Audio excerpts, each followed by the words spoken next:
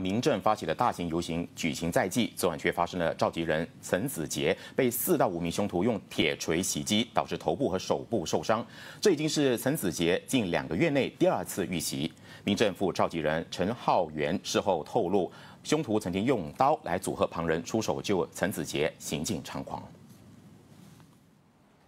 八月遭遇两名蒙面男子攻击，但获得朋友保护而没有受伤的香港民政人权阵线召集人陈子杰，昨晚再度遇袭，但这一次没能侥幸逃过，被四到五名凶徒用铁锤猛打，卧倒血泊中。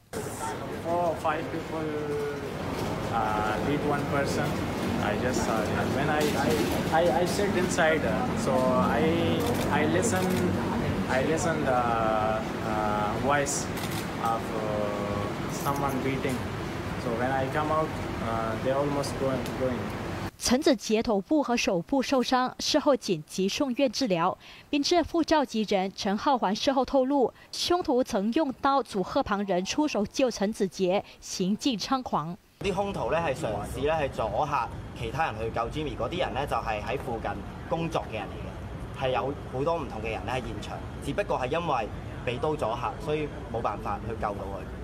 民政强烈谴责凶徒的行为，同时不排除凶徒的动机是要制造政治恐慌、寒蝉效应，祝贺人们参与民政这个月二十号举办的大游行。不过陈浩环透露。陈子杰在救护车上表示五大诉求缺一不可，强调集会照跑，吁请大家现身参与。而陈子杰清醒之后也给大家传口讯报平安，表示伤处很痛，却令他更能和所有手足感同身受，同时感谢警方迅速到场，预警警方揪出真凶。另一方面，警方董一晚也召开记者会，表示用铁锤和刀袭击陈子杰的凶徒，事发时蒙面及穿着黑衣黑裤，相信不是华裔。警方将案件列为伤人案处理，并强烈谴责暴徒行为，强调不论任何犯案原因或背景，警方都会严肃处理，积极跟进。